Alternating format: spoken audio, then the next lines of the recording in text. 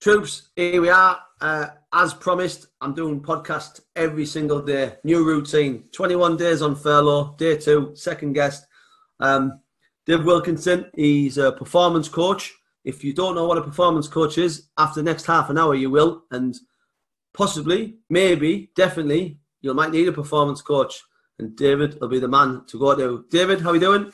I'm very well, mate. Thank you for that uh, lovely introduction there. it's uh, it, it's okay. Just um, slip us that tenner in next time you see us. Um, over sharp edge. yeah, I over sharp edge. Um, performance coach. Everywhere you turn now, and especially if you're on um, LinkedIn, and I don't want to tie everyone with the same brush, but it seems to be a very hot topic. Um, when did it come about, and why has it come about? So I would say that the self development stratosphere has just gone off the radar. This place where people want to grow themselves personally, professionally, because I think people are recognizing now that the difference between where they are and yeah. where they want to be yeah. is self development, that bit in the middle, and whether or not that's their own mindset or the way they perform or the way they optimize in their work. And I think that's driven it further forward where people are like, yeah, I, I get messages regularly. Or I'm interested in self development. I'm interested in personal growth. I'm interested in, in bettering myself. And I think that's where now people right. are kind of resonating because I yeah. think also people don't always understand what a coach is, do they? Because people think, oh, health and fitness coach or you know, you know, sports coach. Now mm. this is kind of like, well, you can be a business coach, right? Yeah, and when you first started out on this, you come from the world of personal training, don't you? That's your original start out background. That's the one, mate. Yeah. What made you change from developing people's physical experience to the mental sort of outlook appearance? Right. Okay. So I'm going to share a little bit of the story, right? It's Go for it. So, so yes, you're absolutely right, mate. I was in the health and fitness game for for a very long time, and in that in that I did a lot with like kind of helping people get their kind of fitness in check, lose weight, yeah. de-stress, just get the whole life on track. And whilst I was doing that, I was building a business with it, building a successful business doing it. But yeah. in all of that, I lost sight of what I was doing it for, like why I was doing this, why I was in this industry for. Mm-hmm. And it became more business, became about making money, mm-hmm. and it was less about the training side of thing. And I lost myself in that. But also, whilst I was doing that, I started neglecting my personal relationship, started mm-hmm. affecting my relationship at home with my partner to the point where we split up. Wow. we separated for a period of time.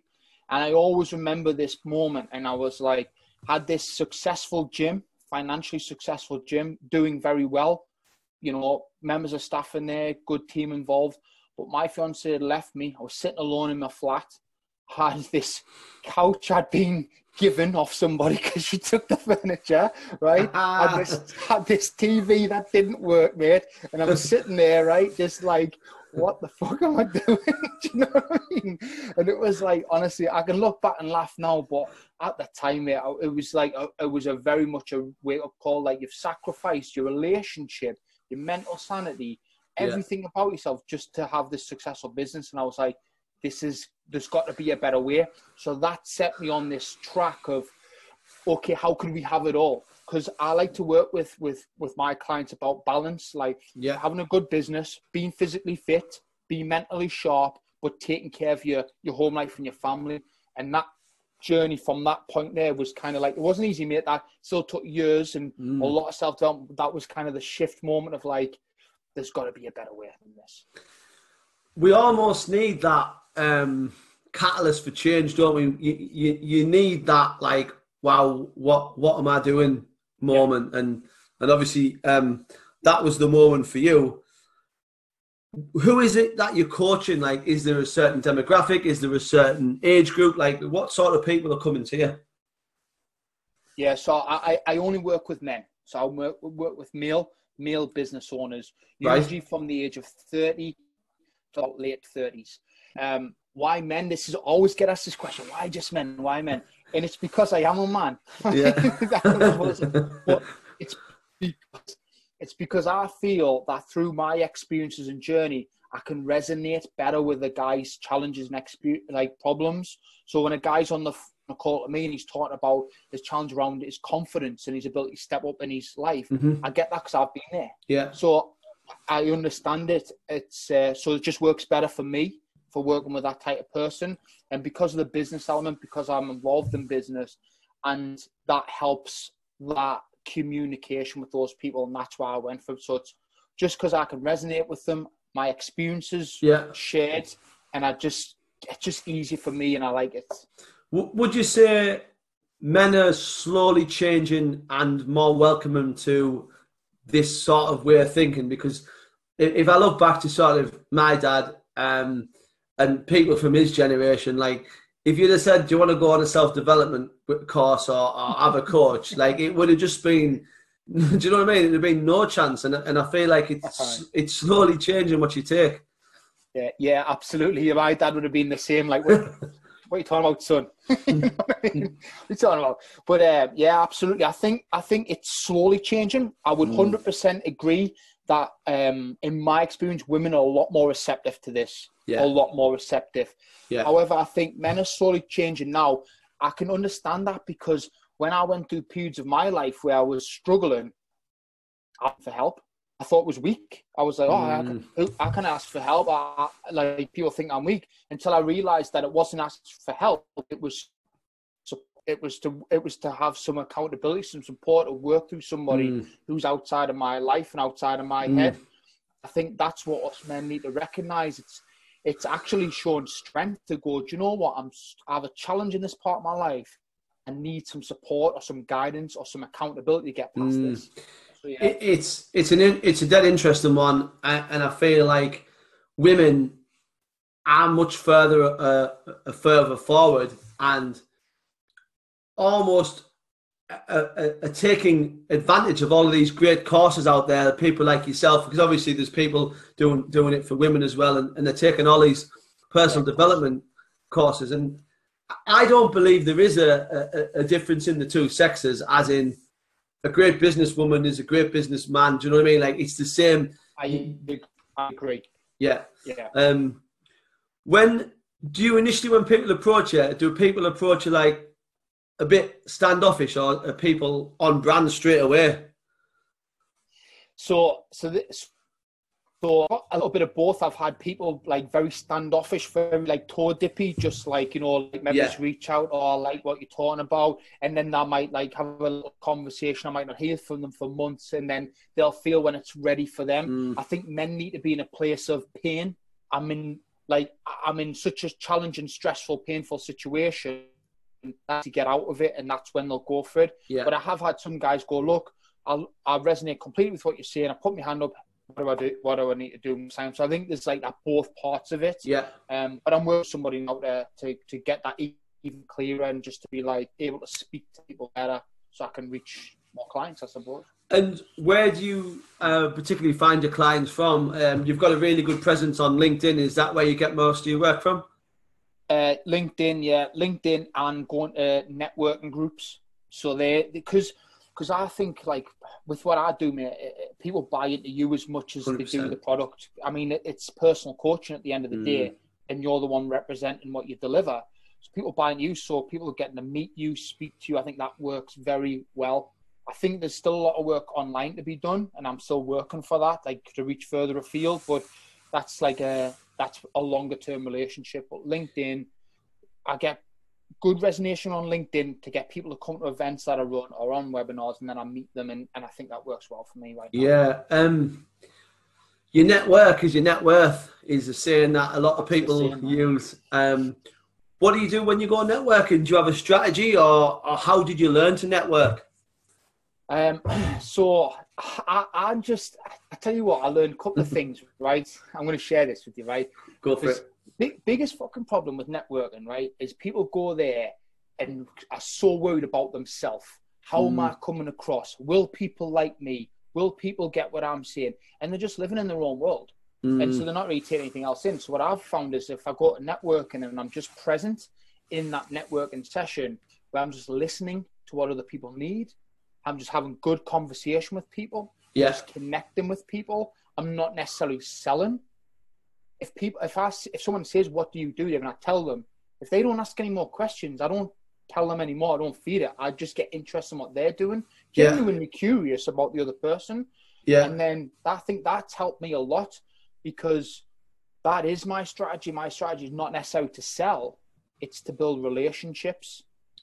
And would you say um, you you're very sort of you see you come across to me as a very outgoing, forward-facing, friendly guy.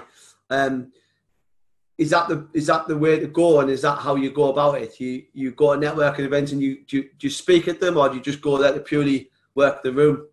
So I've done a bit of both, mate. I've been in networking and I've spoke at networking events. Actually, Yeah. delivered a presentation. I've delivered. I've done sixty seconds. I've even um, even have a, a bit where I support another business to run networking events. So, but but it wasn't always like that though, John. I wasn't Mm. always confident.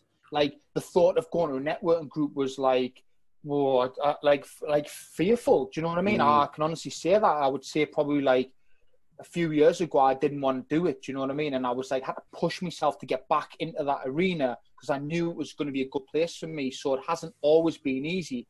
But what I would say is by turning up and just being yourself, not trying to be anybody else. I don't even think you need to be this polished, like, oh, you've got to be this polished business person. I think just being No. you. Nobody can say that's right or wrong because you're just being yourself. I I sometimes get accused of being um, too too me, but my argument to that is, if you want um, Cadbury's cream egg ice cream, then I'm your man. Um, and if you want vanilla, I'm not your man. Do you know what I mean? Exactly. And Exactly.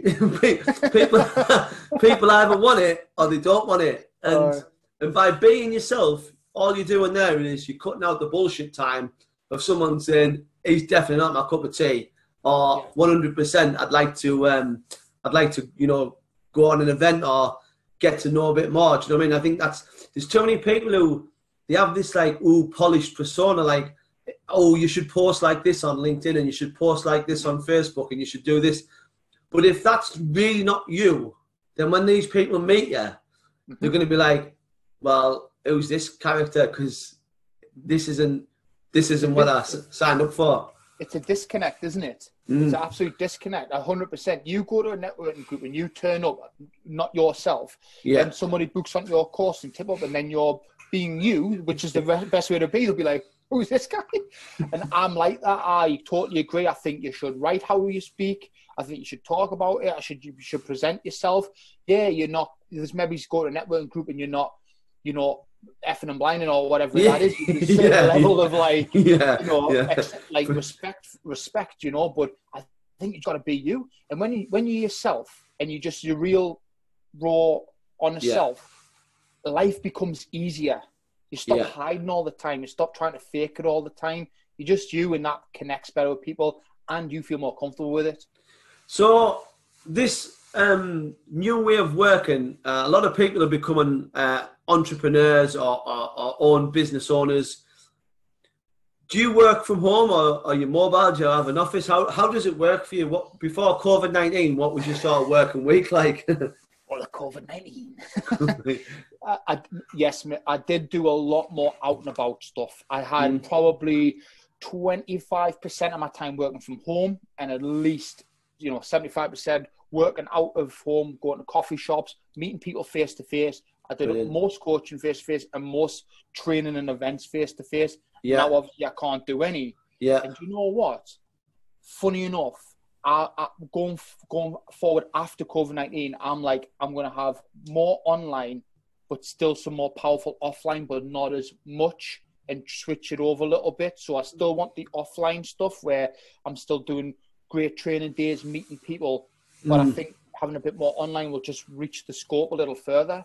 Um, and I'm finding I'm being funny enough more productive by being at home more.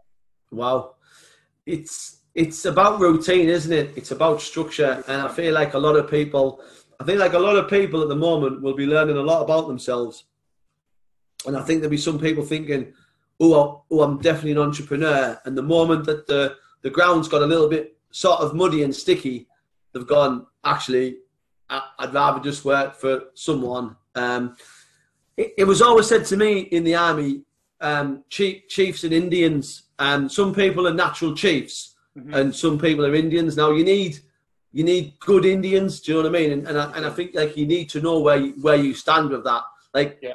I'm like I've been a chief from from from day one. Do you know what I mean? I I I, I struggle being in a work environment with people who I think, oh my god. do, do you know what I mean? Because sometimes people make decisions and you just I, I just start to think, well, it ain't my business. So if that's the wrong choice, you'll pay for it. You'll pay for it with your job. Do you know what I mean? And and Yeah. and, and that's.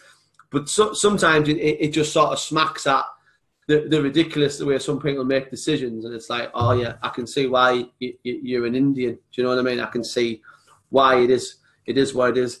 What do you think the working world and especially the self-employed will take from this period?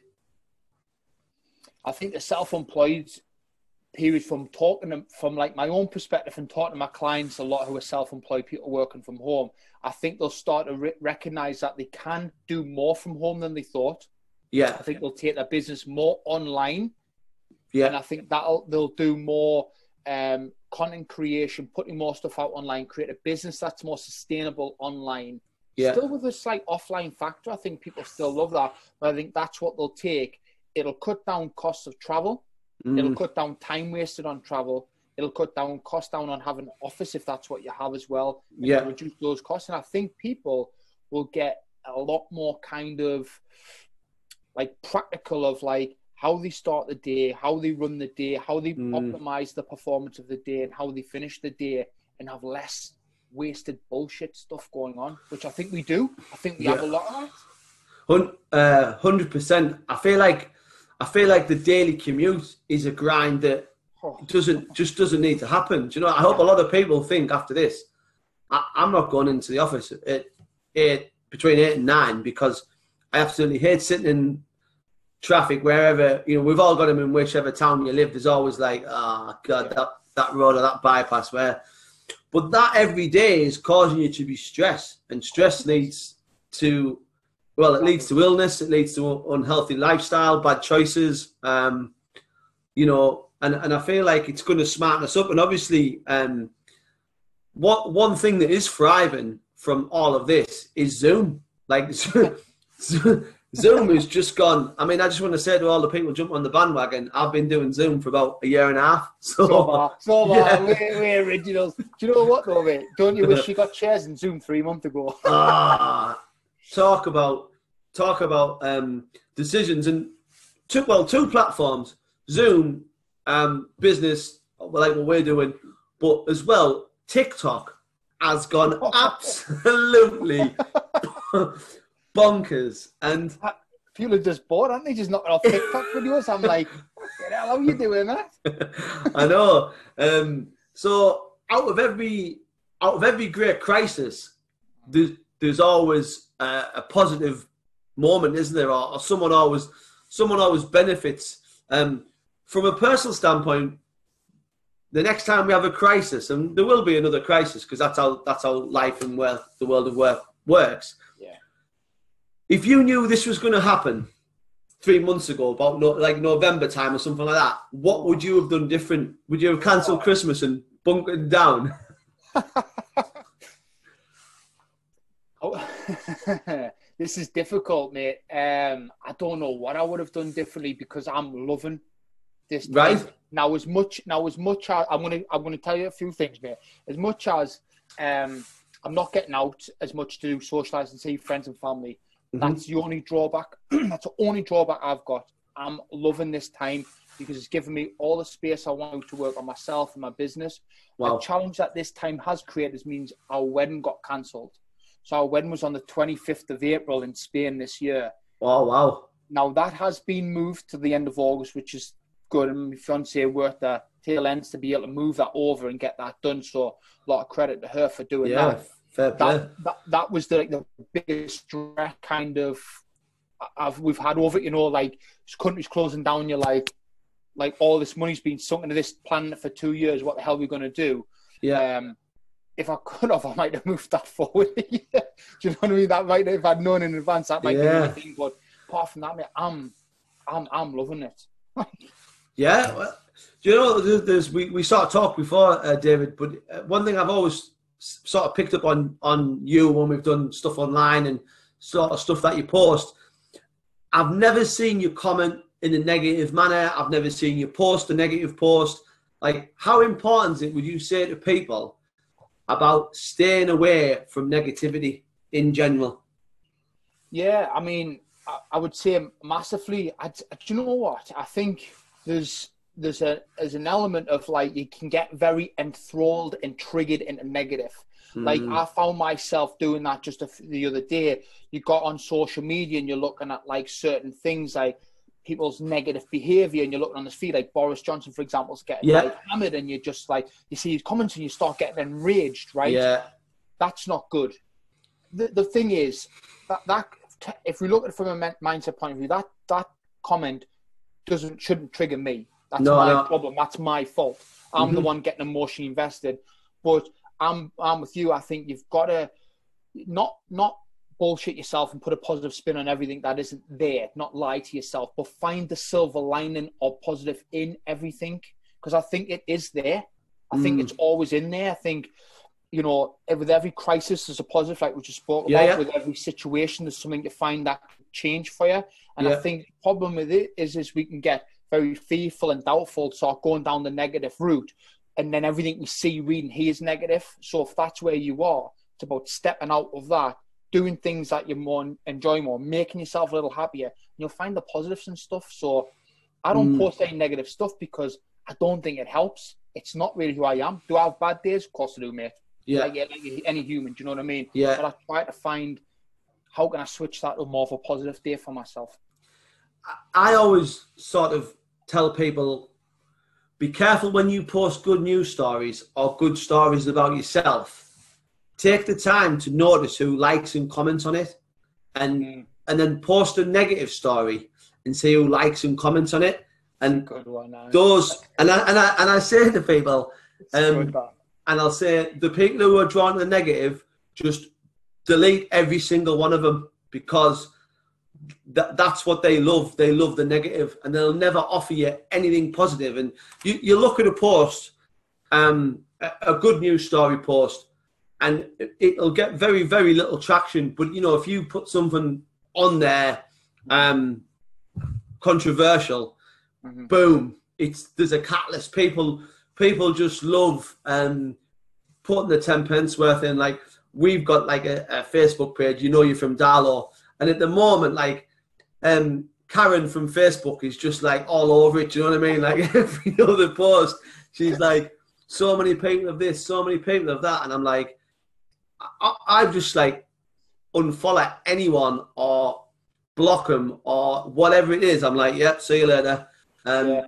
Because I, I, they're drawn to it. Of course, mate. I mean, like, you just have to look, watch the news, and isn't like 90% of the news negative? Like, isn't like I start watching the news about 2008 stop watching the news completely from that point. Stop reading newspapers and everything. Yeah. Not because I feel like sometimes you think, oh, I'm not as informed as I would like to be about some subjects, but you're just getting like smashed with this shit, just mm. constant negativity, and it can draw you into this sense that like everything's bad, the world's bad, the world yeah. isn't a good place, and you can miss the point that there's some great people out there. 100%. And if the news shared some positive stories of positive things that are happening, like look what's happening now. Everybody's getting behind the NHS, everybody's yeah. clapping on a night. It's beautiful. People are getting yeah. behind that. But then, equally, a few months down the line, it'll be like, wow, hospital shit, you can't get an appointment. Do you know what I mean? Like, yeah, yeah, yeah, hundred percent. And um, what I think will come after COVID nineteen, and I, and I think will be better for this um, period of hardship um, because hardship creates community, and it's almost like karma has taught us a, a lesson. We, mm. we fought each other for three years over remain and leave, just battered each other day in, day out, day in, day out, and we tore we tore each other apart. Now yeah. it's a case of like Mother Nature's gone. I've, I've kind of had enough of you lot. Have a bit of this. Um, and, and sort of see how you get on. But there's a lot of people coming together. There's neighbours doing shopping yeah. for people. There's people checking in on other people. People are doing other people's gardens. Like a real, they called it the Blitz spirit, didn't they, during World War Two? And, and I yeah. feel like we're getting uh, some some form of of uh, Blitz Blitz sort of spirit, and, and, and it's good to see. And though the world's got very big, I feel like more people care about small and um, Mm-hmm. you know small businesses and you know people are sort of taking the time. Um, there's an initiative at the moment in Darton where we're all buying from like individual small businesses at the moment. So That's um, Yeah. falafel fella takeaways, like that sort of stuff to sort of maybe just to Yeah. keep them ticking over during this time before they can um, Yeah. reopen again. No, it's it, it's it's a dead interesting thing, and I, I, I say to people as well: if you look into the black hole long enough, eventually it look back at you, and then it knows your face, and then all you ever do. And I've been down that road where it's like it ends up being tribal, and before you know it, you're meeting people in South Park for a tear up. Do you know what I mean? And it's like, what's going, what's going on here? How's, how's this even become a thing? But you, you, mad, you, see, you know, you, you, you see the threads, um, and people are just wanting to knock absolute uh, bits out of each other. Uh, one thing I want to sort of say as well, um, today you've committed on doing the the uh, Lakes Monster, which I'll just say congratulations for signing up for the hardest day of your life. Uh, Mate, I, I've done I've done some hard challenges in my past, so I, but I need. And do you know what I thought? Right, mate. I thought what a great group of lads to do with because I know Yeah. a few of you guys that are Yeah, yeah, it. Yeah. It's great first charity, which Yeah. I know somebody personally involved with that. And Yeah. you know what I thought? Do you know what? I need a reason to keep myself getting in shape over this lockdown. I thought, Yeah, definitely. because I get married the week after. Yeah. so you can't shut us off. no, no, no, no. There'll be no, there'll be no, there'll be no, uh, there'll be none of that. Look, and it's right that we're going to help frontline services and, and, and the staff, Great. and and Great. especially now, um, it's it's it's it absolutely at the forefront of everyone's mind. The NHS, um, and it always should have been because again, because something's free and it's always been there. We we take it for granted, don't we? Yeah. And you've got to have respect for it, man. Like people like tearing into it like for years, like, Mm. oh, you can't get this, you can't get that. And it's like that service is there when you need it if you're having an accident. Mm, I know it has like its faults the same as anything. thing, yeah. What a great what a great service. And I I just like I'm never want to lose that for our country. Do you know what I No. mean? Never ever. Nah, hundred percent. Um, David, look, uh, thanks very much for your time. We're going to sort of look at doing a little bit of a close down and um, personal favourite of mine because I'm I'm interested in and I'm inspired by what people tell me when we do this. So we're going to do the five whats, which is sort of how they're coping through this lockdown. Lockdown with Disney Plus, you can't beat it. Lockdown Um, yeah. So the first one, uh, what does your day look like? So the day looks like right now it's obviously got a little different, but it looks like getting up at uh, I get up about half seven. Um, Yeah. I get up and I always basically I do what's called like strategic journaling. So I, I like focus on like how I want to feel today, what my number one priority is, what I'm looking forward to today, and what actions I'm going to take. That's just to get my mind mentally ready. Have a nice cup of coffee, sit and do Yeah. that, and then I'll do something to get my energy up. So whether or not that's go for a walk, do a little workout, do some yoga of something, something not too intensive, maybe 30 minutes just to get things going, Yeah. and then cold shower, and then get into my day. And I'll Oh. start working with clients from around about 10 o'clock onwards. The cold shower thing, um, is that, that what that guy did? I can't remember his name. Is that The where this is Wim, coming the Wim Hof. No, Oh, Wim Hof. He's a legend, the Wim Hof. Wow, cold showers. Have you ever done it, mate? No, I've never done. Well, Oh, no, man. I'll I'll tell a I'll tell a little story. When I went to uh, Morocco last last year when we did Toubkal, um, I'd sort of got this idea that you can acclimatise yourself better to cold weather by um, basically taking baths or showers, and I chose baths where every time I had a bath, it was slightly colder, and then before you knew it, I was sort of almost sitting in not ice cold water, but I was sitting in considerably colder water for longer periods of time. Yeah. Um, to sort of build, I want to, I'll steal David Goggins' word here, build calluses on the mind about like, I am now comfortable sitting in a cold bath. So that means my my body and my mind are like, well, we know it's cold, but we've been here before. Um, Yeah, yeah, yeah. I like it. just just do that. No, but that's that's a that's a great stuff. So yeah, you were saying. Yeah, so then cold showers, then I start working um, with clients or starting my work working from 10 onwards. Right. And then it depends on what I've got on. Sometimes I don't finish till about seven at night. Don't get us wrong, mate. I'm not all the way through. Yeah, yeah. I like to take a little break in the afternoon where I'll then do an actual workout or Yeah. get some sun or whatever to get me going for the rest, and then finish sometimes four o'clock, sometimes seven o'clock, Brilliant. and then I'll just sit down, make some food, relax with my fiance. You know, try and spend some time together as well. And I also share this as well, mate. I've also tried to ensure that I've created a, a weekend as well, not letting every day run into each other. So ah, cool. finishing a specific time, um, lunchtime on on Friday, and then not going back to work on Monday and having Saturday and Sunday as off days, you know, offline, off social media, just kind of Nice. during the weekends. Otherwise, I That's, think they'll uh, run it themselves. Yeah, that's a fair point. Um, second one, what workouts are you doing? I, I said to you before the podcast started, I've dug out the old Shaun T insanity this morning. Johnny D. Insanity. The boy. Yeah. So so mate. So um, I'll do um, I'll go, either go for a run. So Yeah. go go out for a run.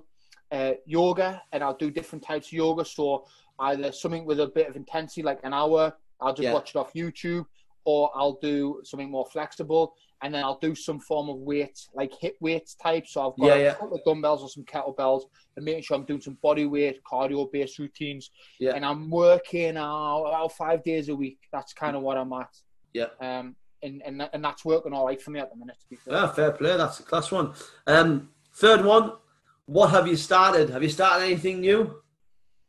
Started new. Right, what have I started? Started nothing that isn't. I haven't started any new that isn't business related. Right. And so what I've been doing is I've been, I've started working with a friend guy of mine to help me basically move stuff more online to produce an online program come and out the back end of this COVID nineteen. Not about it's got nothing to do with COVID nineteen. This is a program for men, but we're working to set the online system up. So I can have webinars and have an online presence that supports what I want to do going forward. So Amazing. we're kind of doing that. Amazing. Um, fourth one, what have you stopped doing? Going to the pub. fair enough. I'm Fair not a big boozer, mate, but I, oh, oh, fucking hell, uh, BJJ, Brazilian Jiu Jitsu, I've stopped doing that, unfortunately. 'cause I Right. couldn't do it, so that got shut down in middle of March. Um, I'd been doing that for about three and a half months, loving it. I was thoroughly enjoying it. I can't wait to get back to it. Yeah. But that is something I have stopped doing. Where uh, where'd you do that, David? Where'd you do Fifth, Fifth Element over in uh, Abbey Sports Centre. Great, Nice. club, great group of guys um, who, who run it, you know, and a lovely community. Just, do you know what? You go somewhere and it's just such a good community. No egos. Just Mm. everybody's there to help each other. Just a good sport and it's hard work. And I feel like really moved me fitness forward. But I enjoyed it and I'm missing it a bit. Like, Yeah, well, that's, that's a fair point. Um, fifth and final one, what's the first thing you're going to do after lockdown's finished? go to jiu-jitsu. I want to say, I want to say, hug, hug me mum and that, but I do that on the way to jiu-jitsu. I want to I want to hug some fellas on the floor. I want to get choked out by some dude.